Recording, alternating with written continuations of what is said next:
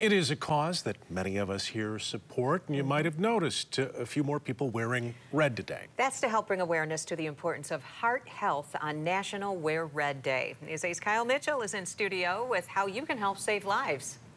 Sue and Brian, cardiovascular disease is the number one killer of women and men. The Go Red for Women campaign is working to highlight improved screening, response, and to promote a heart-healthy lifestyle. The American Heart Association in West Michigan hosted an event today at Davenport University. A nurse provided free blood pressure checks along with information about staying healthy.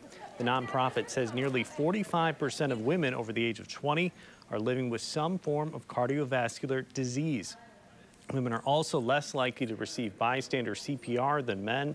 The organization also helps provide training and awareness to the importance of AEDs. Health experts say giving chest compressions can help even if you're not certified in CPR. So you can check for a pulse.